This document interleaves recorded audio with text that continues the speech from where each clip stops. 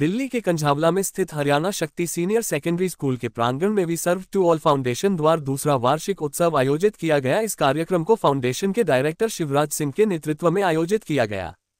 इस कार्यक्रम की शुरुआत दीप प्रज्वलित करके की गई। इस अवसर पर विद्यार्थियों ने गीत, नृत्य, नाटक व अन्य सांस्कृतिक कार्यक्रमों की शानदार प्रस्तुतियाँ दी तथा विजेता बच्चों को ट्रॉफी भी प्रदान की गई। Uh, myself Shivraj Singh, I'm a director of We Serve 12 Foundation.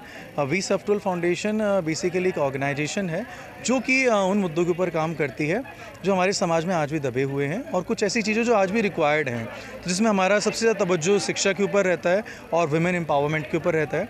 तो इस बार हमारी फाउंडेशन ने हमारा second annual day program establish किया जो कि हरियाणा शक्ति सीनियर सेकेंडरी स्कूल में था।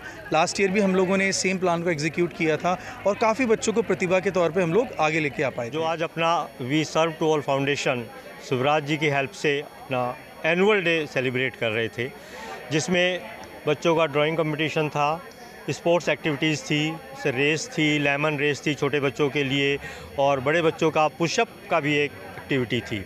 और उसमें उसके बाद फिर छोटे बच्चों के लिए ड्राइंग कंपटीशन रहा और बड़े बच्चों के लिए डिबेट क्विज़ थी और एक छोटा सा प्रोग्राम, डांस का भी था। थोड़ा सा कल्चरल एक्टिविटीज़ भी आप उसको कह सकते हैं, जो कि बहुत अच्छे तरीके से बच्चों ने किया और आपने उसको देखा भी होगा। वार्षिक समारोह में फाउंडेशन निदेशक द्वारा बच्चों व स्कूल शिक्षकों को सम्मानित किया गया।